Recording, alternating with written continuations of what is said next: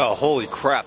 Good afternoon. It's 3.30. Uh, I slept in later than I wanted to. That's nothing new. And I went over there and I mowed and that sucked. Um, I didn't really take off that much grass, but it's just damn hot out here. The dew point is 67. It's about 84 degrees. Uh, there's a lot of clouds up there, but you're in the sun 95% of the time.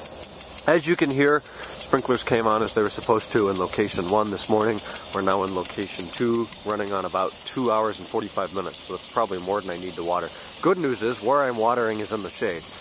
Uh, and actually both locations over there as well. So I'm probably going to move them now, get a little, uh, little, little freaking work done. Welcome, vlog. Finally going to finish that video for E39 source. I've been putting it off.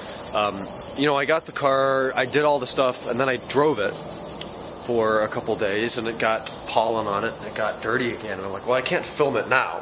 So yesterday, last night, I did the Z6 coat and got everything back to pretty much where it was before I did my original coat of Z8. So now I'm going to start up, pick up filming again.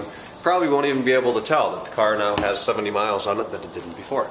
Anyways, before I did that and got flustered at the end of the last clip because I was feeling my phone vibrate trying to figure out who it was from in my pocket, I'm going to move this one over here because I'm noticing when I trimmed I cut this a little short and I don't want this all brown out and that'd be bad news. So I'll take care of that now.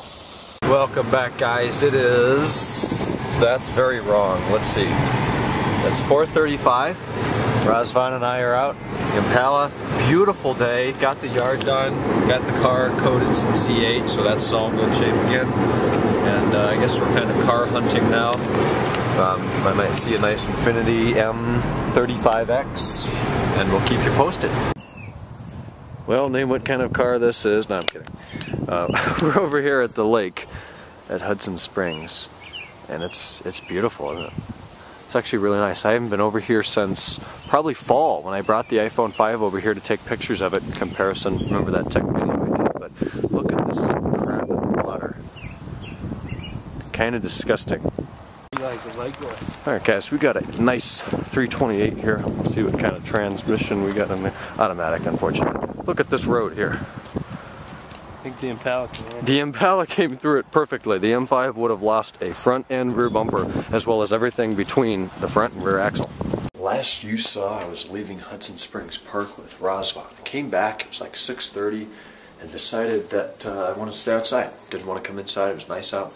So I ended up working for like four and a half, five hours. I power washed the entire patio, the sidewalk back there. And I hope it looks nice because I did about a third of it in pitch dark. So I'll film that tomorrow when it's light. It's 3.30 in the morning. Colt's doing his ball joints right now. He's got another few hours in. Try to finish it up tonight. But uh, I'm getting tired, so I'm going to wrap this up. And um, I'll talk to you guys tomorrow on Tuesday.